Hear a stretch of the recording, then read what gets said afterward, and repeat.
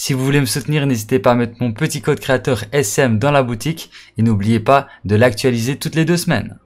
Wesh les potos, bienvenue sur ma chaîne YouTube, ce soir Coolo Mike et dans cette vidéo je vais vous aider à réaliser le défi qui va vous demander d'utiliser une canne à pêche pour surfer, derrière un requin à butin. Alors pour réaliser ce défi, moi ce que je vous conseille c'est de vous rendre juste ici sur le gameplay. Parce que là, vous allez trouver une canne à pêche à coup sûr et logiquement, il y a toujours des requins qui traînent. Donc regardez, il y a un requin qui est juste là. Après, si vous voulez, je vous affiche une map avec tous les emplacements des requins de Fortnite saison 3, chapitre 3. Mais franchement, moi, ce que je vous conseille, c'est vraiment de venir à cet emplacement-ci. Parce que là, vous allez trouver un, deux ou trois tonneaux de pêche. Donc regardez, il y en a un là, un tonneau de pêche qui vous donne bah, des cannes à pêche. Là aussi, il y en a un autre. Et parfois, il y en a même un troisième.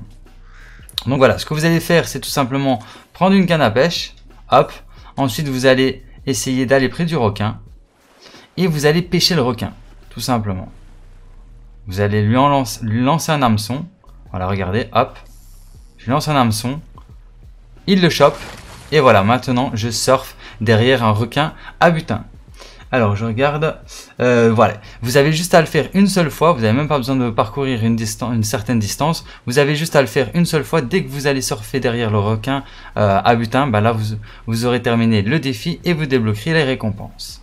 Donc voilà qui termine cette petite vidéo d'information. J'espère qu'elle vous aura été utile et qu'elle vous aura plu. Si c'est le cas, n'hésitez pas à liker, à partager et à vous abonner si ce n'est pas encore déjà fait. Et sur ce, bah moi je vous dis à très bientôt pour plus de vidéos. C'était Cool Mec et ciao.